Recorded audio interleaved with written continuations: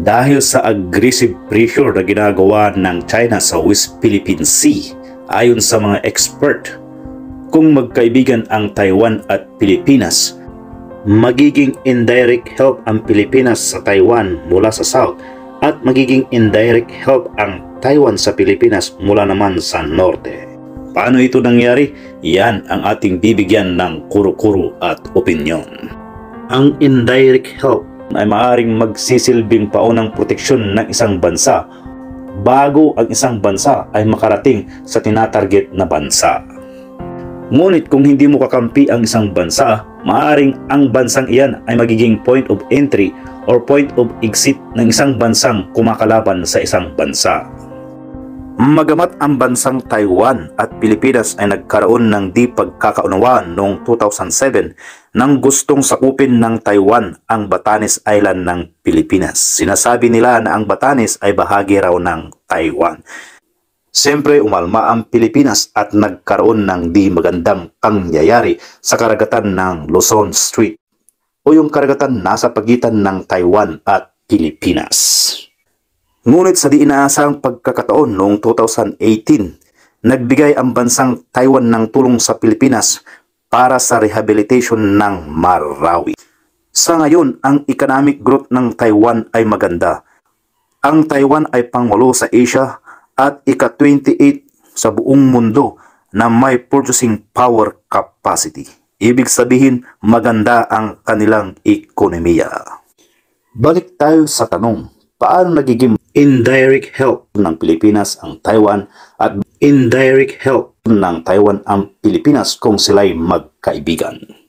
Para sa daanan at magandang ekonomiya ng Taiwan, kailangan nila ang Luzon Straits. Ito yung karagatan nasa pagitan ng Pilipinas at bansang Taiwan. Mobolis Island para sa Pilipinas at Orchid Island naman para sa Taiwan. Ang daanang ito ng mga barko ay diretso sa South Port ng Taiwan kung saan napaka-importante ito sa kanilang ekonomiya. Ganon din, ang Luzon Straits ay linagyan din ng mga cable internet sa ilalim ng tubig. At noong 2006 nung nagkaroon ng 6.7 magnitude earthquake ay nasira ang mga linya ng internet at communication kung saan hindi maganda ang linya ng communication ng ilang linggo sa Taiwan at Pilipinas. Kung ang Pilipinas at Taiwan ay hindi magkakampi o hindi magkaibigan at magkakaroon sila ng sigalot, malaki ang negatibong epekto nito sa bansang Taiwan maging sa bansang Pilipinas. Kung kaya't minamabuti ng Taiwan at Pilipinas na manatiling magkaibigan at ayusin ang mga sigalot sa diplomatikong pamamaraan. Kung kaya't kung sakaling magiging doble ang aggression ng China laban sa Taiwan at gustong magpadala ng mga armas, equipment gagamitin ng China laban sa Taiwan at ipapadaan ito sa ating mga economic zones o sa ating mga baybayin ay kailangan munang humingi ng China ng permiso sa atin. Noong mga nagdaang panahon, parang hindi natin kaya yan. Ngunit dahil ito ay umantig sa interes ng iba't ibang mundo at nagbigay ang US ng military assistance, ay kaya na ng Pilipinas na pigilan ang China kung sila'y dadaan sa ating economic exclusive zone at mga territory na hindi nagpapaalam sa atin.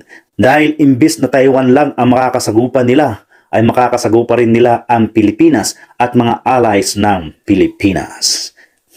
Ganyan kaimportante ang pakikipagkaibigan ng Taiwan sa Pilipinas dahil mananatiling ang Pilipinas ay indirect help ng Taiwan. Siyempre, ganun din ang Pilipinas from the North. Kung ano man yung mga point of entry sa North, kung kaibigan natin ang Taiwan, ganun din ang gagawin ng Taiwan.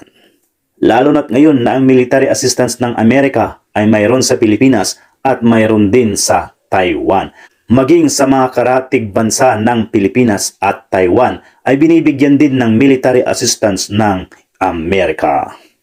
Kung kaya't isa itong dagok sa plano ng mga Chino na pagharian ang West Philippine Sea at mga karatig bansa nito.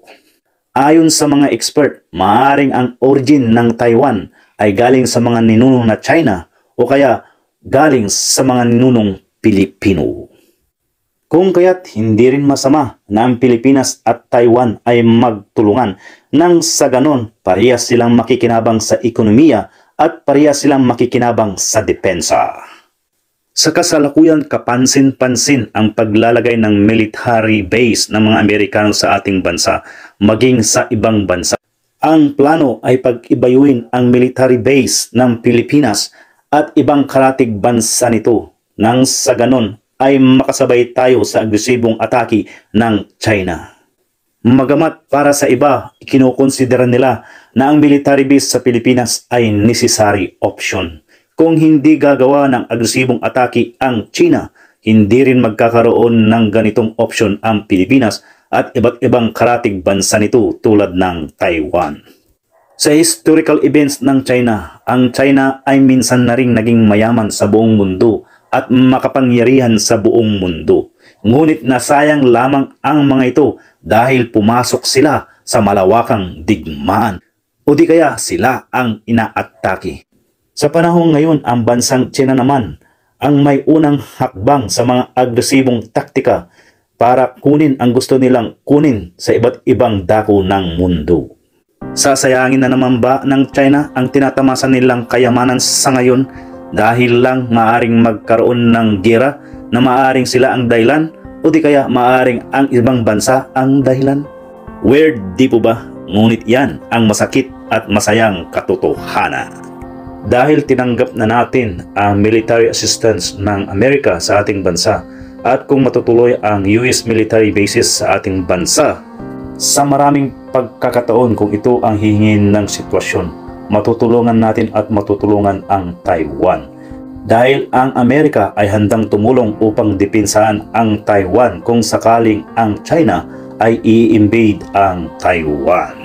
Ang mga US military base sa Japan, South Korea, Thailand at Pilipinas ay magkakonektayan pagdating na sa gerahan magagamit at magagamit ang mga base militar ng Amerika na ipinatayo sa iba't ibang bansa kung ito ang tinatawag ng sitwasyon. Sinasabi ng mga expert na dahil ang Taiwan ngayon ang siyang may magandang production ng semiconductors production. Ito ay mga key materials sa pagproduce ng electronic materials.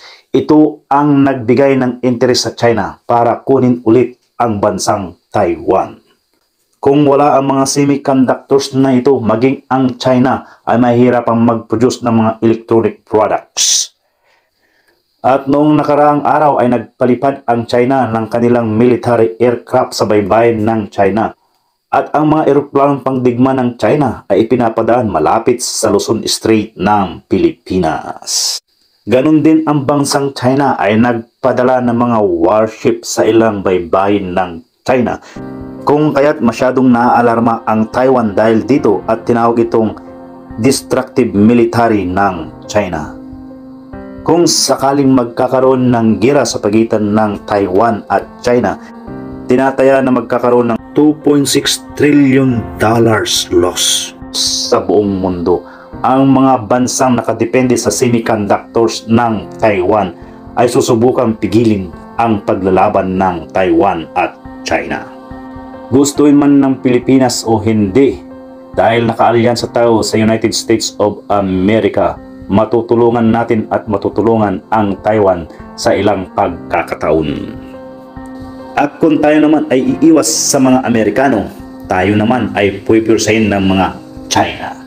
Ang iyong lingkod, Mon Cordell, Info TV!